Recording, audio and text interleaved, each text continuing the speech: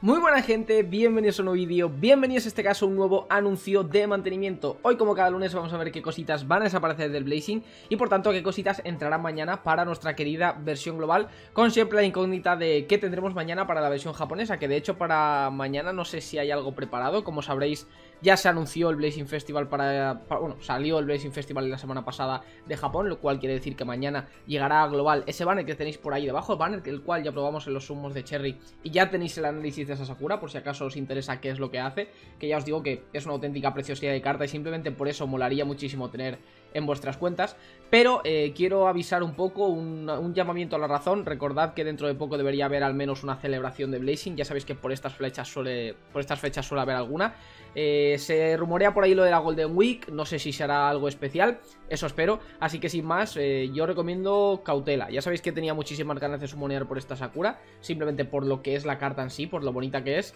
pero teniendo en cuenta esa celebración que debería estar muy pero que muy cerca, Insisto, hago un llamamiento a la calma y no sumonéis en exceso a no ser que tengáis muchísimas perlas de, margen, porque, insisto, si se viene una celebración, eso quiere decir que muy posiblemente tengamos un Dual Blazing Festival, un Dual, un dual este, un Dual Blazing Bash posiblemente. Obviamente esto siempre es variable, no siempre tiene por qué ser igual, pero prácticamente en cada celebración siempre, siempre hemos tenido un Dual Blazing Festival, lo cual quiere decir que podemos tener dos cartas bastante interesantes las cuales nos pueden llegar a interesar.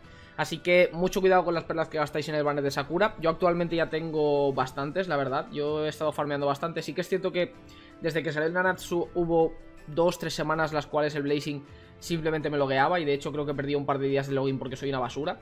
Pero actualmente tengo 668 perditas que no están para, para nada mal. Eh, a ver si se enfoca, yo creo que no se va a enfocar nunca. Correcto, ahí las tenemos. Y van subiendo gente, ya he vuelto a hacer las diarias. Sé que no debería haber, dejado de hacerlas en ningún caso porque al fin y al cabo te quitan, yo que sé, 20 minutos de tu tiempo. No, no las haces en absolutamente nada de tiempo. Así que, sin más, a seguir farmeando, a seguir consiguiendo perlitas y cuidado con la celebración. Pero bueno, eso será cuestión de esperar porque, como mencionaba, es totalmente especulativo, no tiene por qué ocurrir. Así que lo iremos viendo conforme, conforme pase el tiempo.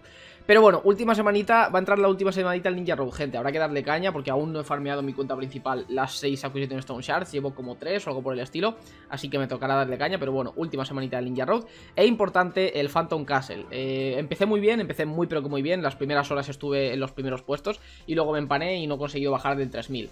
Pero bueno, me da totalmente igual, por norma general de hecho me suelo quedar entre, entre estos puestos, me suelo quedar entre los 3000 primeros o algo por el estilo, que yo siempre por norma general, en, quedándome entre los 1000 y los 5000, pues soy bastante, bastante feliz. Así que, sin más, mañana recoger las recompensas de Phantom Castle. Ya sabéis que, bueno, mañana o cuando las den, ya sabéis que yo no sé cuándo a las recompensas de Phantom Castle. Siempre hay alguna persona que me lo pide. Oye, ¿qué hace? Que den tal ranking en el Phantom Castle y no mandar las recompensas. ¿Sabes por qué? ¿Ha pasado algo con mis recompensas?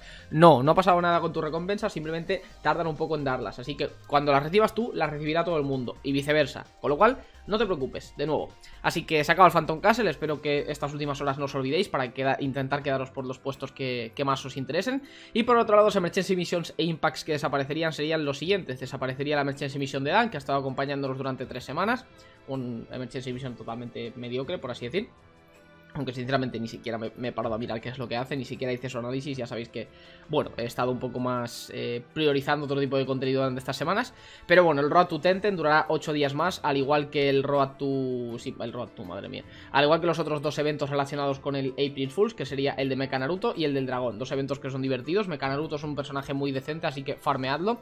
Y luego en cuanto a los impacts que desaparecerían, serían el Hard Mode y el, el, el Impact normal del Gai Sensei, el de Orochimaru y por último tendríamos las Emergency Mission esta de los personajes de la guerra, el Sasori Edo, eh, Ameyuri Ringo, Jinin Akebino y Choyuro. Que bueno, ninguno de ellos sinceramente merece la pena más allá de... A ver... Edo Sasori es buena carta, Ameyuri Ringo es buena carta, pero volvemos a lo de siempre, por norma general, cuando tengáis un poco de box eh, disponible, este tipo de cartas no las vais a utilizar prácticamente nunca, pero bueno, ahí están, si las queréis utilizar, están a vuestro alcance.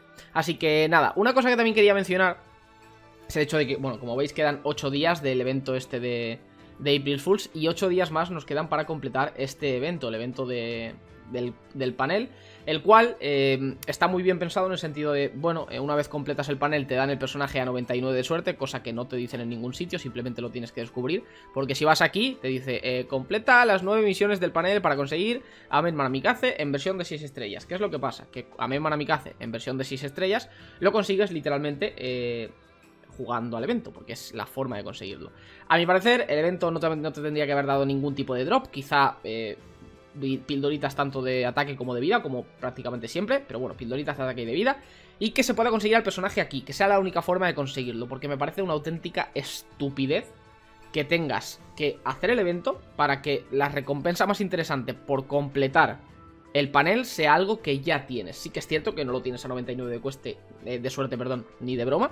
Pero, tío, eh, de verdad, eh, ¿cómo puede ser tan cutres? Poner una recompensa más, poner por completar el panel, yo qué sé, 10 perlas, 5 perlas, algo simbólico, tío. Pero no me pongas al personaje como tal en 99 de suerte porque me parece una estupidez enorme, tío.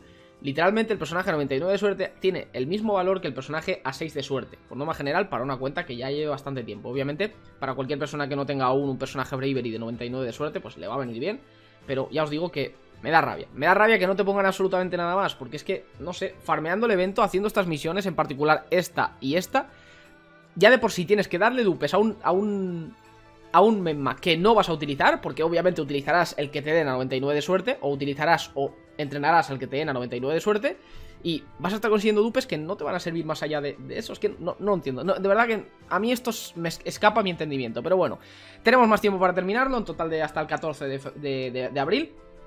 Así que gente, sin más, terminadlo, dadle caña porque bueno, merece la pena porque es un personaje de Emergency Mission totalmente gratis es un personaje bastante decente, así que de verdad, usadlo porque está bastante bien. No he hecho análisis, pero ya os lo digo que es una carta bastante, bastante decente y no cuesta absolutamente nada farmearlo e insisto, para tenerlo a, menos, a, 99 de suerte, que también es algo que renta muchísimo. De hecho, ni me he parado a mirar, un segundo, ni me he parado a mirar si es una carta de menos 28 de coste. Porque el Edo, perdón, el Edo, el Mecanaruto sí que es una carta de menos 28 de coste, pero ya os digo yo que este Menma ni siquiera me he parado a mirarlo. Y sí, es de menos 28 de coste, pues es una carta increíble. Es muy, muy, muy buena carta este Menma. Llega a 21 de coste, ya os digo yo, que bueno, no, lo podéis ver por ahí.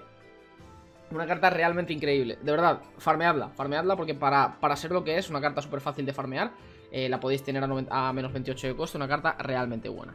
Pero bueno, dejamos a un lado esto, gente, dejamos a un lado la versión... Eh, la versión global. Y vamos a lo, que importa, por así decirlo, la versión JP, que es lo que vamos a tener mañana. Entrará el Blazing Festival de esta señorita, el Blazing Festival de Sakura, insisto.